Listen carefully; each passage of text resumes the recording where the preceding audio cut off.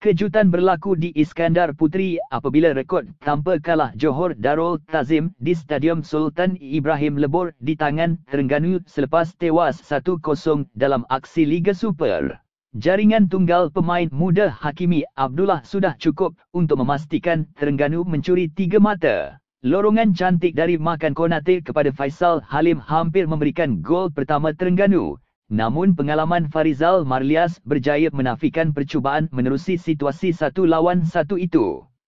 Tonggak utama pertahanan JDT, Mauricio Dos Santos terpaksa dikeluarkan kerana dipercayai terselio ketika cuba menghalang pergerakan Faisal Halim, menjadikan pertukaran kedua pada babak pertama selepas AS Kunanlan juga diganti oleh Mateo Davis sebelum itu.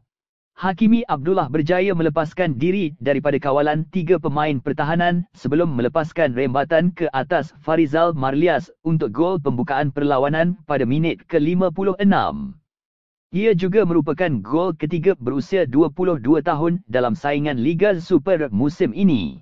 Tertekan dengan ketinggalan satu gol JDT melancarkan serangan bertali arus untuk mencari gol penyamaan sehingga ke akhir permainan tetap nasib tidak menyebelahi JDT.